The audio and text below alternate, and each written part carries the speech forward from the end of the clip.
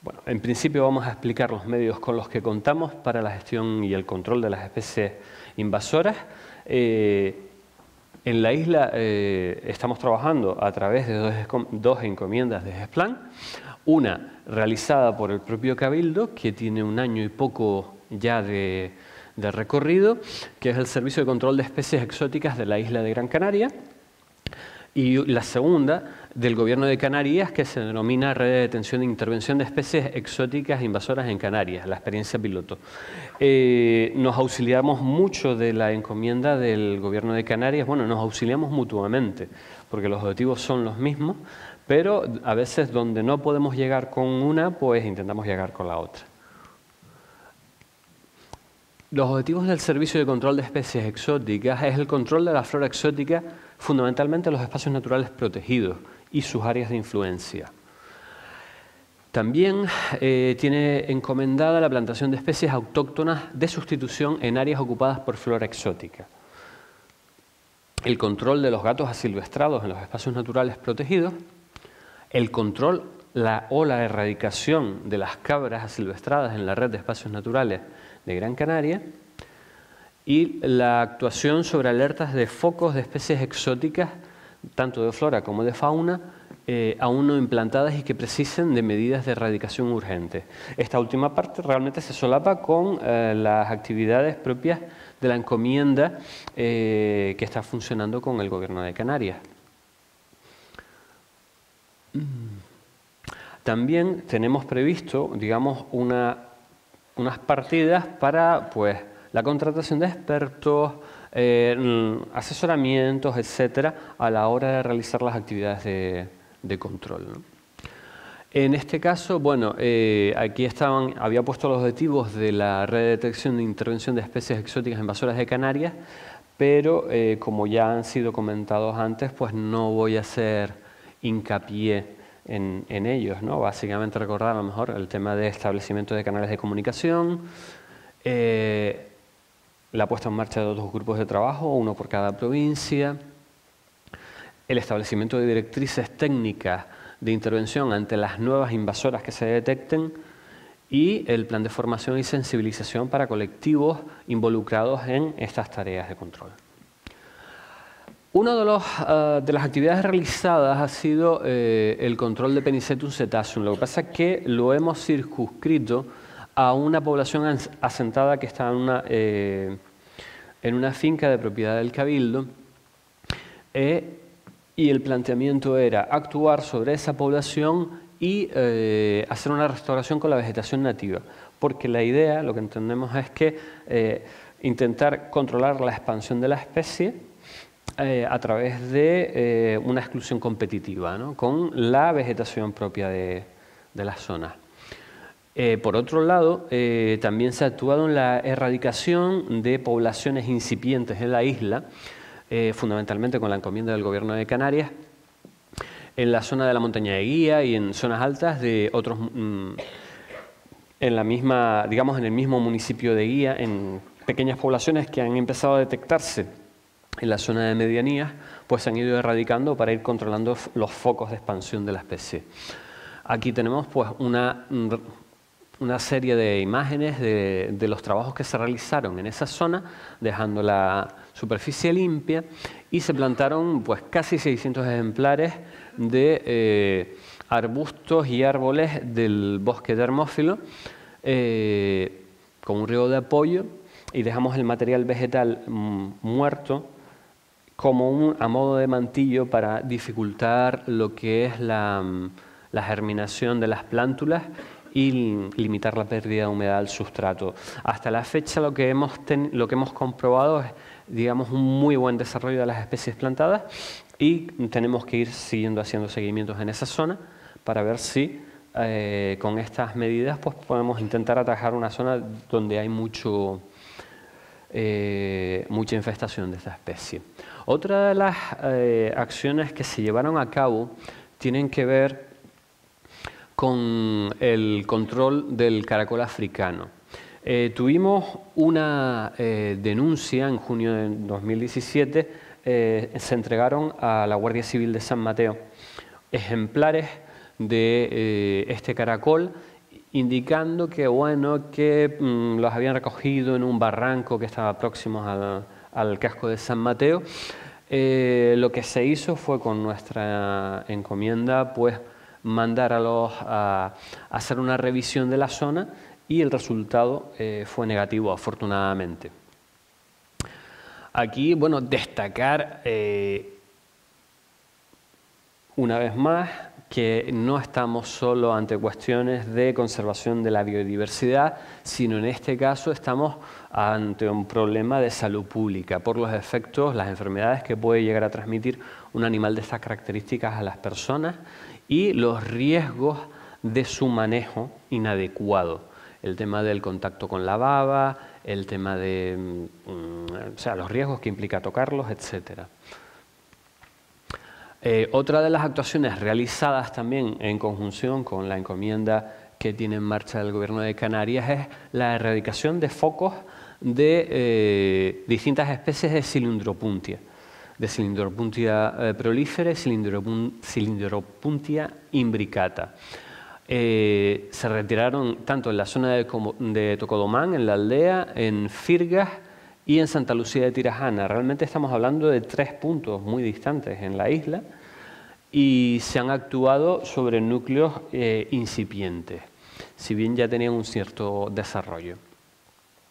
Otra de las cosas con las que estamos actuando y que es una de las cuestiones que también nos genera más problemas es la situación de aquellos híbridos animales domésticos de producción que se asilvestran. En este caso concreto estamos hablando de eh, ejemplares asilvestrados de gallinas, gallos, pavos reales y palomas. Las acciones se justifican porque eh, una elevada densidad de población de gallinas, lo que, lo que nos eh, ha estado pasando en la finca de Osorio o en otras zonas aledañas a los tiros de Molle, prácticamente limitan, afectan gravemente a la regeneración natural del Monteverde. O sea, el picoteo de las gallinas y el continuo escarbar eh, digamos, hacen un efecto eh, prácticamente de limpieza del suelo, ¿no? Así como los riesgos de transmisión de enfermedades a especies eh, tanto nativas como a proyectos que tenemos en marcha. En el caso de Osorio se detectó que había una enfermedad tanto por parte de las gallinas como las palomas y que podían afectar al centro de cría de la paloma rabiche que tenemos radicado en la finca. Por eso se procedió a la retirada de, en este caso, más de 150 ejemplares de gallinas, gallos y pollos y palomas. Para ello se realizó mediante la instalación de trampas. La presencia de aves asilvestradas en, Gran Canaria y las alertas que ello ha conllevado mm, no solo o sea, ha tenido que ver con el caso de pavos reales, hemos tenido también eh, alertas debido a afecciones producidas por patos criollos e incluso llegamos a tener una alerta producida por la aparición de unos emus en la zona de Azuaje. Eh, otra de las cuestiones también que son muy destacables es el tema de aquellas especies endémicas de otras islas que se trasladan entre islas.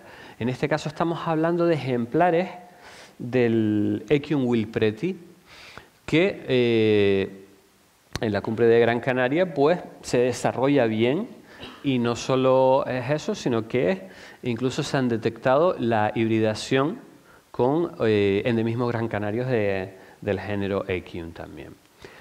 Eh, aquí mm, lo que hemos actuado es entrada en todos aquellos ejemplares existentes en, las poblaciones, en las propiedades insulares, porque habían eh, ejemplares en, la zona de la cumbre que se estaban regenerando y es un tema sobre el que vamos a tener que continuar, pero hay que irlos limitando.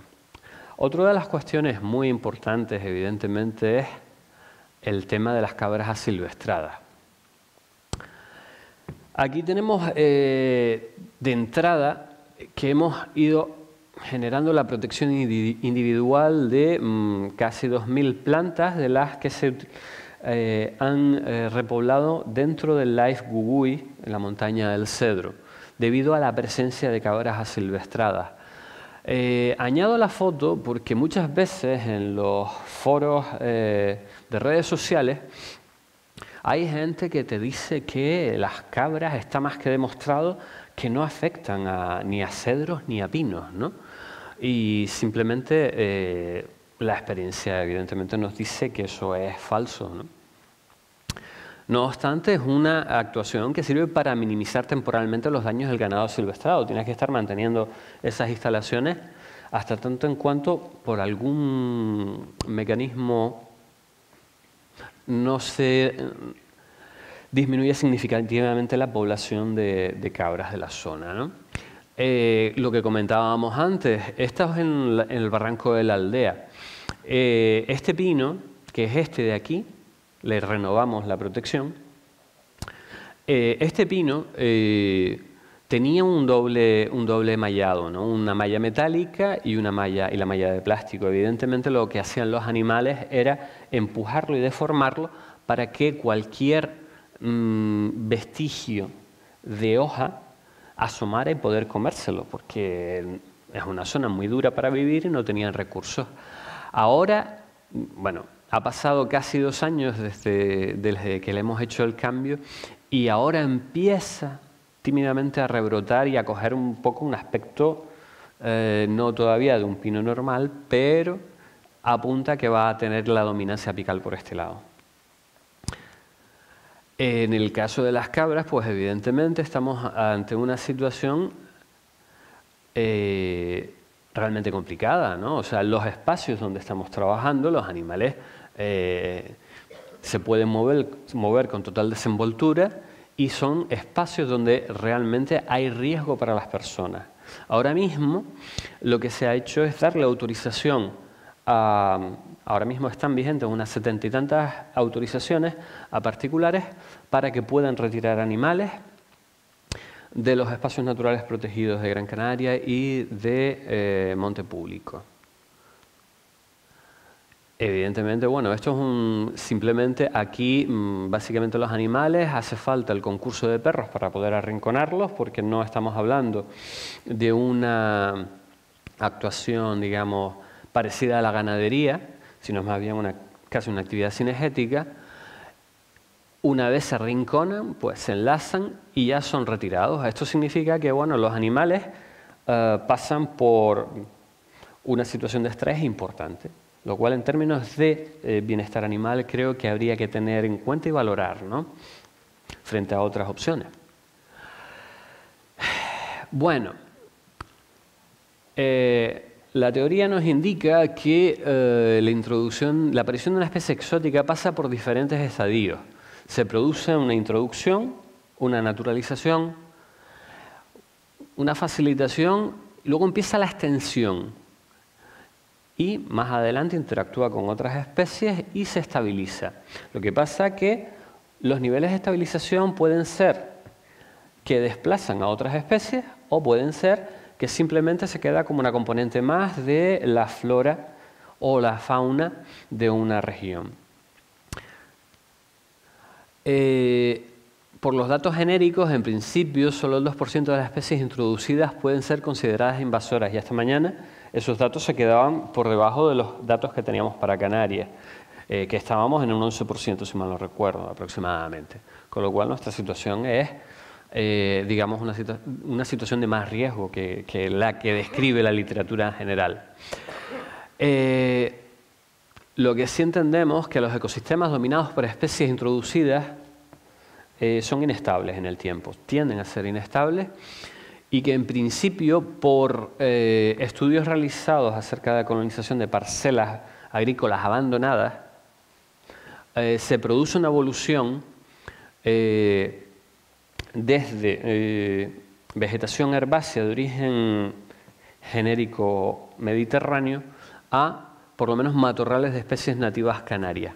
En este caso, este estudio no contemplaba la presencia de especies, eh, digamos, de carácter invasivo, sino una generalización. Y nada, básicamente esto es un poco lo que quería contarles. Muchas gracias.